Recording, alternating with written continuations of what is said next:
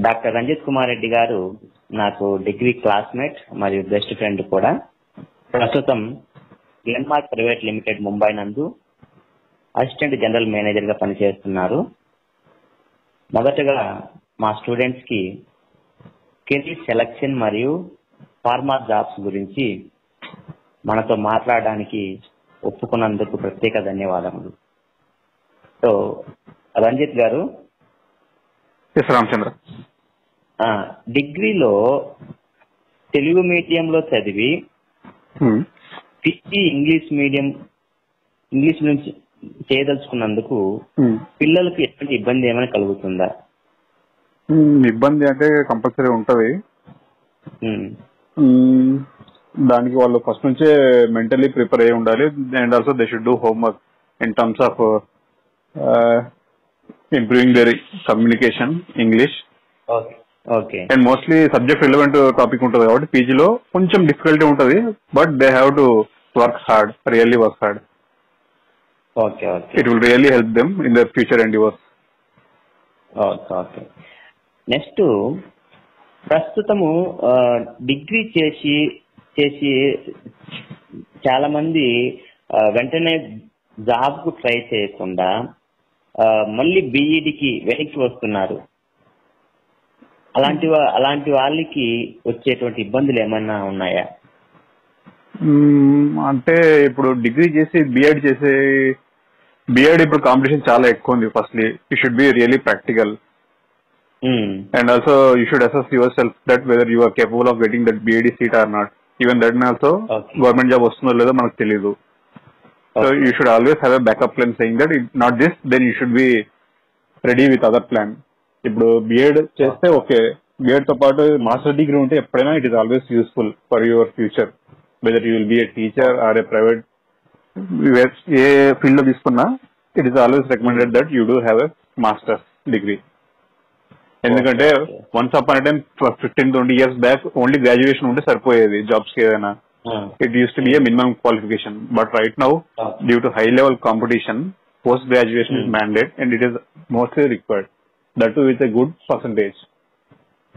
Okay good percentage అంటే ఎంత? Minimum కట మినిమం స్కోర్ ఎంత ఉండాలి ఫస్ట్ క్లాస్ అనేది ఇప్పుడు మరీ రెగ్యులర్ అయిపోయింది so you should have a distinction if possible distinction ఉండాలి minimum first class minimum requirement okay okay degree చేసిన వాళ్ళకి ఫార్మా ఇండస్ట్రీలో ఎలాంటి జాబ్లు వస్తాయి? డిగ్రీ చేసిన వాళ్ళకి ఫార్మా ఇండస్ట్రీలో జాబ్స్ ఓపెనింగ్ చాలా చిన్న పొజిషన్స్లో ఉంటది. స్టార్టింగ్ మేబీ ఇన్ ప్రొడక్షన్ అనేది తీసుకుంటారు లేదంటే స్టోర్స్లో తీసుకుంటారు. మరి చిన్న కంపెనీస్ అయితే వాళ్ళు అనలిటికల్ దాంట్లో కూడా తీసుకుంటారు. బట్ రైట్ నౌ కాంపిటీషన్ చాలా పెరిగింది కాబట్టి you should be very keen and also very proactive whatever the chance you're given a chance వస్తే అది you have to strive very hard to learn things. Because everything will be new you should show interest and also అక్కడ పని చేసేటప్పుడు ఎలా ఉండాలంటే మిమ్మల్ని చూసి మీ పైన సుపీరియర్స్ ఎవరైతే ఉన్నారో they should like you and also they should recommend you to learn new things. Because it is not easy job okay you have to concentrate. Very much on your studies and also on your work which you are going to do అంటే degree చేసి కంపెనీలో join అయితే growth బాగుంటుందా? PG చేసిన తర్వాత కంపెనీలో join అయితే growth బాగుంటుందా? ఎప్పుడైనా పీజీ చేసిన తర్వాత జాయిన్ అయితేనే బాగుంటుంది. ఎందుకంటే master degree is the highest degree PhD it is fine if you are okay with it or not but masters degree ఉంటే ఏంటంటే జాబ్ ఫస్ట్ చూస్ చేసుకోనికి కూడా ప్రిఫరెన్స్ ఎక్కువ ఉంటుంది. Next Okay. వచ్చేసి నెక్స్ట్ హైయర్ పొజిషన్స్ కానీ కంపెనీ మారినా కానీ కూడా నెక్స్ట్ కంపెనీకి వెళ్ళినా కూడా క్వాలిఫికేషన్ చూస్తారు first first qualification followed by your relevant experience okay so please make sure that you finish your masters at any cost మరి మీరు డిగ్రీతో జాబ్లో జాయిన్ అయ్యారు కదా? ఎస్ ఎస్ మొదటగా హెట్రోడక్స్లో. ఇటు మరి మీరెందుకు అలా జాయిన్ అయ్యారు? అది ఫిఫ్టీన్ ఇయర్స్ బ్యాక్ కాన్సెప్ట్ అదే చెప్తాను fifteen years back only with BSc they use to recruit people so simultaneously నాకు అర్థమైంది అంటే అప్పుడు చూస్తూ నేను సైమల్టేనియస్గా ఎంఎస్సీ కూడా చేశాను. So it is fine for me MSc followed by ఇప్పుడు పిహెచ్డి కూడా అయిపోయింది. It is fifteen years back fifteen years back demand ఉండేది. విత్ బిఎస్సీ తీసుకునే వాళ్ళు. ప్రతి డిపార్ట్మెంట్లో. ఇప్పుడు. ఎట్లా అయిపోయిందంటే ఇప్పుడు బీ ఫార్మసీ వాళ్ళు కూడా ఉన్నారు కాంపిటీషన్ నాట్ ఓన్లీ బిఎస్సీ అవును. If it is with respect Okay.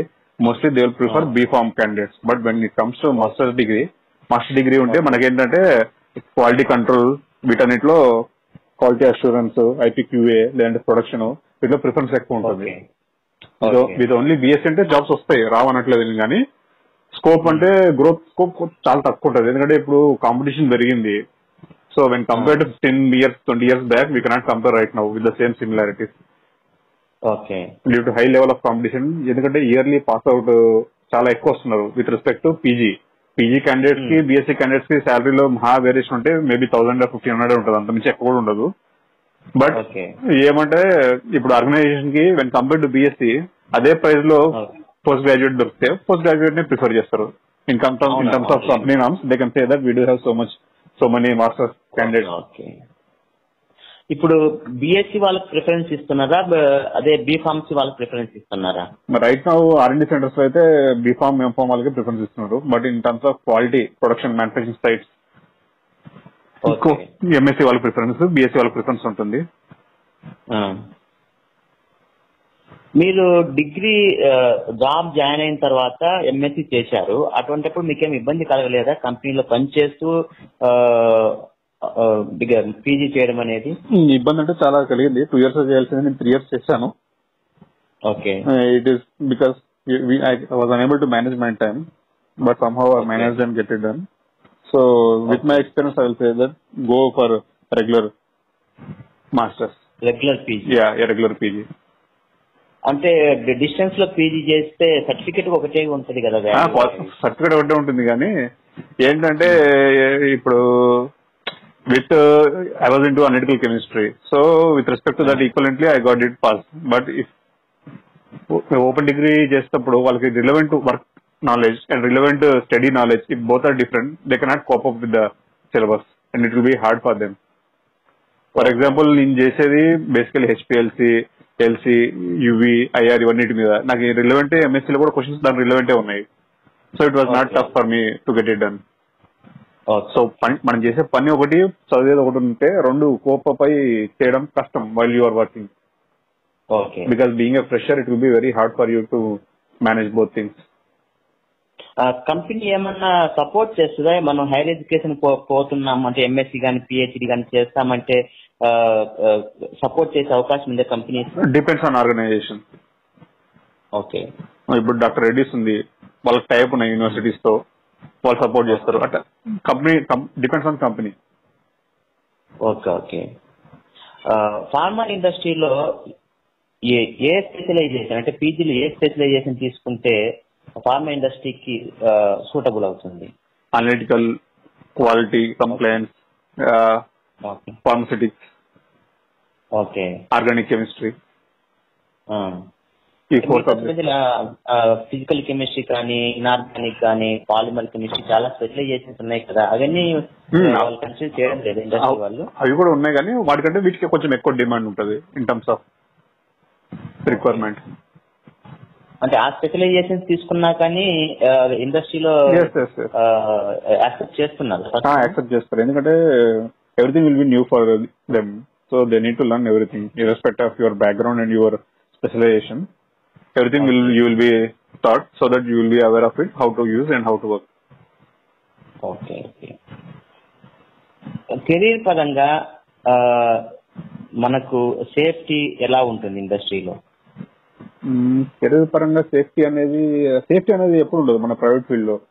You have to improve yourself and grow yourself in terms of both personally and also technically. Okay because it is a continuous learning process.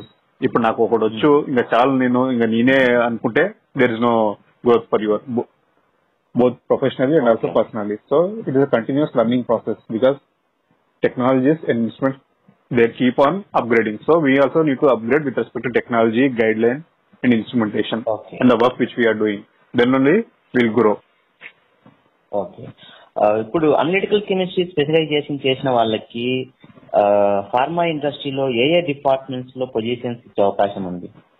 Analytical చేసిన వాళ్ళకి with respect instrumentation because A department ఇప్పుడు మనం research సెంటర్కి వెళ్ళినా లేకుంటే chemical ఎంటిటీస్కి వెళ్ళినా clinical ట్రయల్స్లోకి వెళ్ళినా లేదంటే మ్యానుఫాక్చరింగ్ సైట్స్లో క్వాలిటీ కంట్రోల్లోకి వెళ్ళినా they are all instrument based technique so mostly analytical chemistry students will be preferred for this analytical departments, whether it can be R&D center, it can be manufacturing site, it can be a new chemical entity NCE or a innovator-based company, they will prefer the analytical techniques people, which because they do have a background in theoretical knowledge on instrumentation techniques.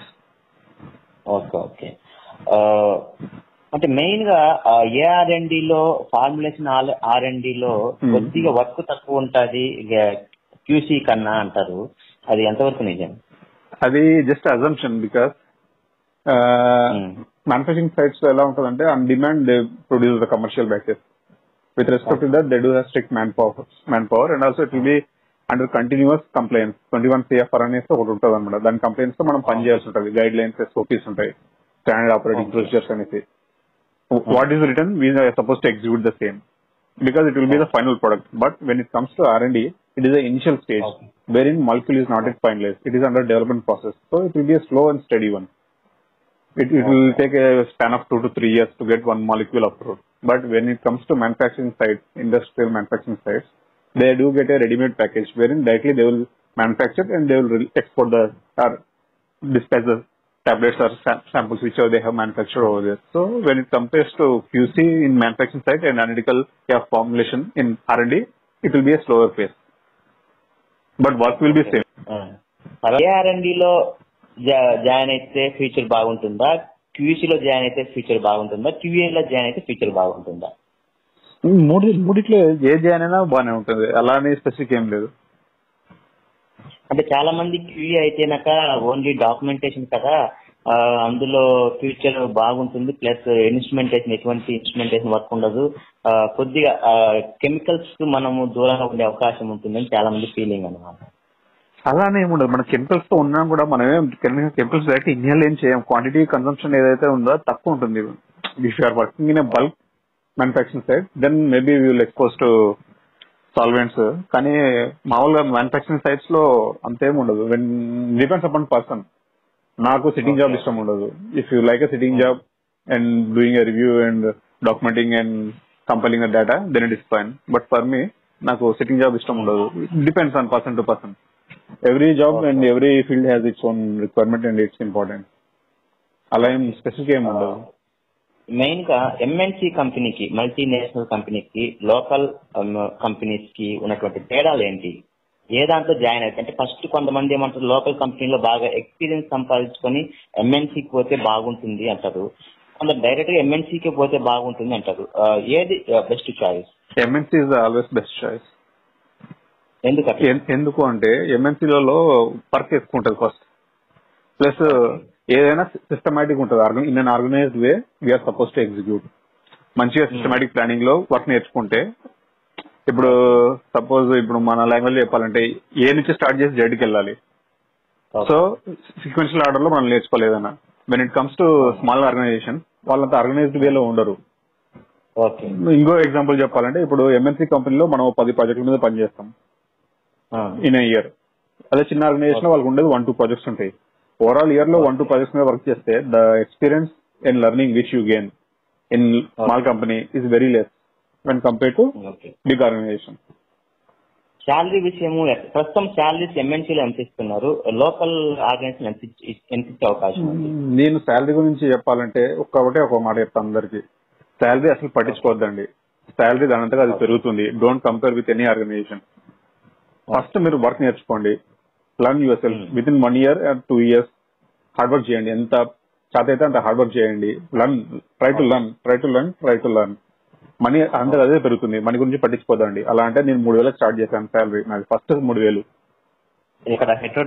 హెట్రోడక్లో మూడు వేలు దాంట్లో మూడు వందలు cutting పోయి రెండు వేల ఏడు వందలు వచ్చేది. అదే శాలరీ అయితే నేను టూ ఇయర్స్ వర్క్ చేశాను. టూ ఇయర్స్ పని చేశాను.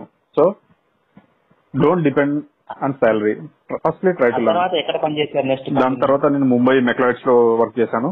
టూ ఇయర్స్ ఆ తర్వాత Macleods Glenmark pharmaceutical followed by Novartis again Glenmark Novartis pharma ఫీల్డ్కు సంబంధించి మరి ఎన్నో విషయాలు నెక్స్ట్ వీడియోలో తెలుసుకుందాం. థ్యాంక్ యూ రంజిత్ గారు ఫర్ యువర్ వాల్యుబుల్ ఇన్ఫర్మేషన్